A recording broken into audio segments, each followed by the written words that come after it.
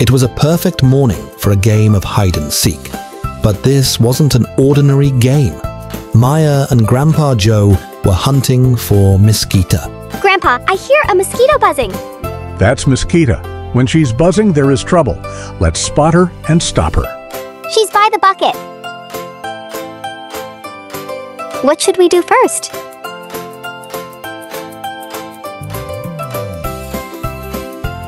Let's empty the bucket first. But Misquita wasn't done. She zips to an old tire. Maya follows her to the tire and see water and larvae in the tire. Grandpa Joe empties the water from the tire. What should we do next?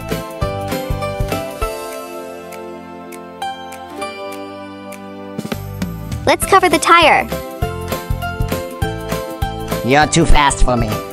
Maya spots Misquita on the flower pot and walks to her. What should we do now?